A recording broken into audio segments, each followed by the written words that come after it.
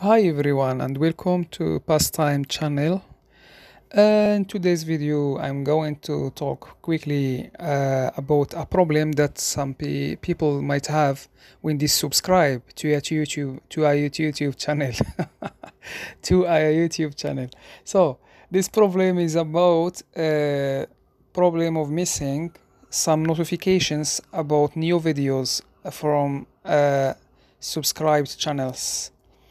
So to sort out this problem, we have to go to subscribe and like I am doing example of subscription now, subscribe like this.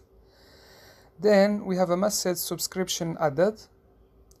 Then we have a bell in very right corner near to subscribe. When we click on that bell, we click on it, we will have three options. We have all, we have personalized, and we have none. So we click on all. And then we have message, you will receive all notifications in down.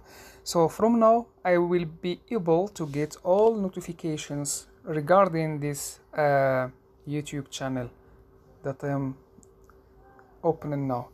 So that's all for today and I hope uh, this video will sort out uh, the issue and thank you very much for watching and bye bye take care